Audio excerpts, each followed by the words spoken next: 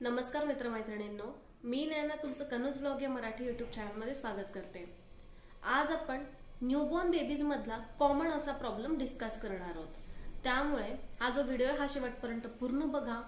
व्हिडिओमुळे थोडी जरी हेल्प झाली असेल तर व्हिडिओला लाईक करा आणि चॅनलला सबस्क्राईब करायला विसरू नका. तर बघा न्यूबॉर्न बेबीजमध्ये कॉमन प्रॉब्लेम बघितला गेलाय. तो म्हणजे की बाळाच्या डोळ्यातनं सतत पाणी येणं किंवा बाळाचा जो डोळा आहे तो लाल होणं किंवा मग थोडं पिंकिश होणं किंवा त्या डोळ्यातनं चिकट असं पाणी बाहेर येणं. आणि हा अतिशय कॉमन असा प्रॉब्लेम आहे. हा जो प्रॉब्लेम आहे हा मीही फेस केलाय.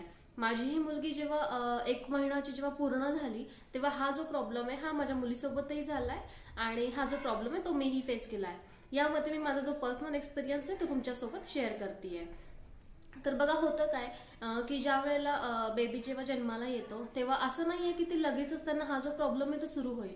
काहींना एक महिन्यानंतर किंवा काहींना पंधरा दिवसानंतर किंवा काहींना दोन महिन्यानंतरही हा जो प्रॉब्लेम आहे हा होऊ शकतो. आणि असं नाही आहे की प्रत्येक बेबीला हा प्रॉब्लेम जो आहे हा होईलच. पण कॉमन आहे. म्हणजे मोस्टली आत्ताच्या या ज्या सिच्युएशनमध्ये जे आहे ते बघितलं गेलंय की बरेच असे जे बेबीज आहेत ते या प्रॉब्लेमला फेस करतात. तर यामध्ये होतं काय नेमकी? जसं मी सांगितल्याची जी लक्षणं आहेत ती डोळ्यातनं चिकट पाणी येणं डोळा लाल होणं पिंकिश होणं किंवा मग त्या डोळ्यामध्ये सतत पाणी थांबून राहणं. आणि मग या वेळेला होतं काय की पालकांना टेन्शन येतं की आपण एवढी केअर करतोय आणि कुठेही आपण कमी पडत नाहीये तर मग हा जो प्रॉब्लेम आहे हा होतो काय? काय म्हणजे नेमकी बाळाला होतं काय?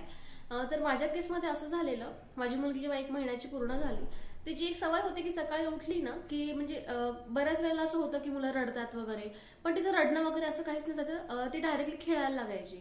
पण एक दिवस असं झालं की ती उठल्यानंतर अचानकच रडायला लागली. म्हणजे अगदी डोळे उघडले नाही आणि ती रडायला लागली.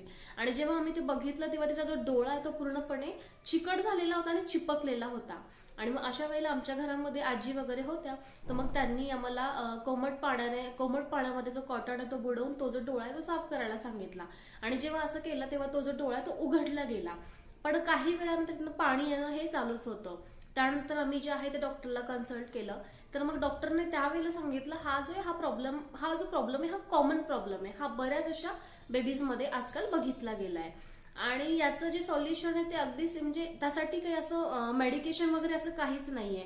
डॉक्टर यासाठी काही मेडिकेशन वगैरे देत नाहीत. कुठल्याही टॅबलेट्स किंवा कुठलेही डोसेस जे आहेत ते प्रिस्क्राईब करत नाहीत. फक्त जर आपल्या बेबीच्या डोळ्यात इन्फेक्शन म्हणजे जर सपोज चिकट पाणी येत असेल तरच फक्त काही जे ड्रॉप असतात ते आपल्याला देतात की ज्यामुळे आपल्या बेबीचं जे इन्फेक्शन आहे जे डोळ्यातनं जे सतत पाणी येते किंवा जे चिकट होते ते दोन ते दिव- तीन दिवसामध्ये हळूहळू कमी होऊन ते जे इन्फेक्शन आहे ते संपतं. पण हे फक्त इन्फेक्शन संपतं जे बेबीच्या डोळ्यात मध्ये सारखं पाणी राहणं हा जो प्रकार आहे हा इथे संपत नाही. तर मी यासाठी डॉक्टर सजेस्ट करतात की हे आधी आपण हे जाणून घेऊया की हे होतं का असं का होतं? तर बघा आपल्या डोळ्यांच्या हे दोन्ही साईडला जे आहे हे टीयर डक्ट असतात. आणि हे जर ब्लॉक असेल तर मग बेबीला हा प्रॉब्लेम जो आहे तो होऊ शकतो.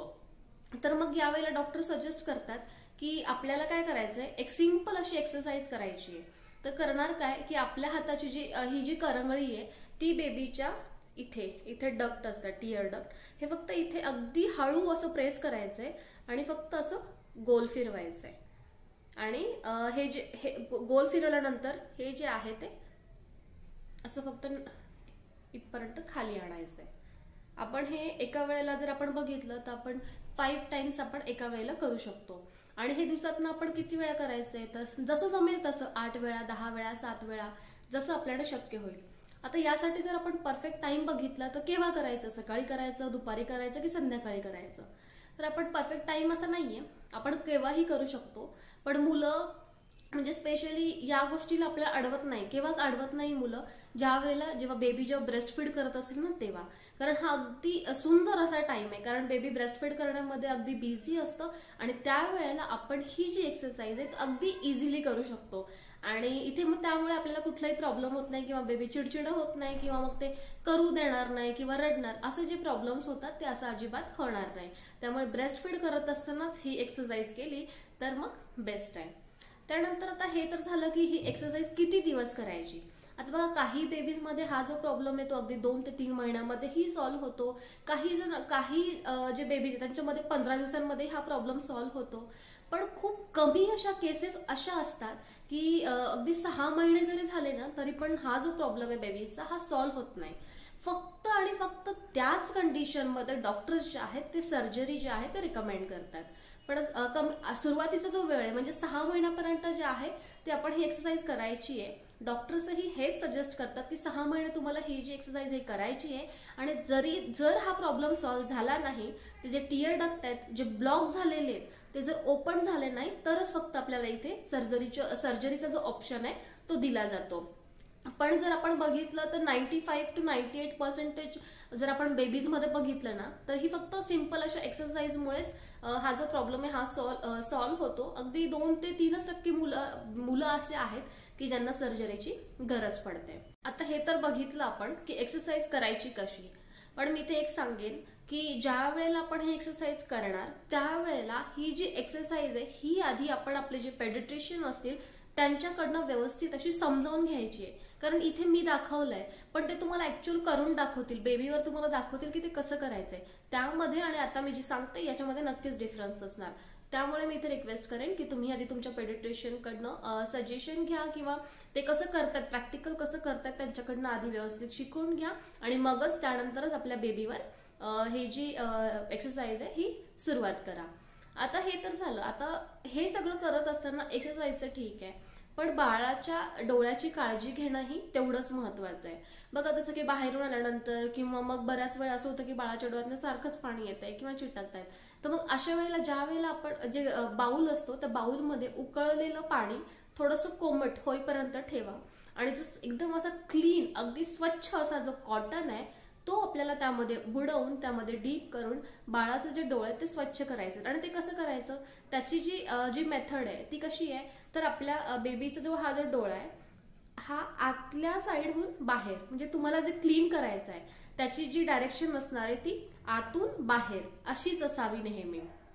आणि त्यामुळे आपल्या ही ही अगदी महत्वाची गोष्ट आहे की एक्सरसाइज ठीक आहे पण बाळांच्या डोळ्यांची जी स्वच्छता आहे तीही तेवढीच महत्वाची आहे. आणि बाळाच्या डोळ्यांची काळजी घेतानाच आपल्या स्वतःचं हायजीन आपल्या हाताचं जे हायजीन आहे ते मेंटेन ठेवणंही तेवढंच महत्वाचं आहे.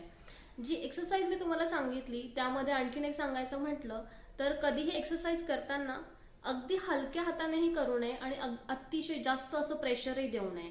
अगदी थोडंसं प्रेशर द्यायचं आणि ते प्रेशर देताना बेबीचे जे आयबॉल आहेत त्याला धक्का लागणार नाही किंवा तिथे प्रेस करणं ह्या गोष्टी म्हणजे अजिबात व्हायला नको. त्यामुळेच आपले जे डॉक्टर्स डॉक्टर्स आहेत जे पेडिट्रेशन आहे त्यांच्याकडनं ही जी एक्सरसाइज आहे एकदा समजावून घ्या आणि त्यानंतरच ट्राय करा. आय होप तुम्हाला या व्हिडिओमधून थोडी तरी हेल्प झाली असेल थोडी जरी हेल्प झाली असेल तर व्हिडिओला लाईक करा चॅनलला सबस्क्राईब करा. Thanks for watching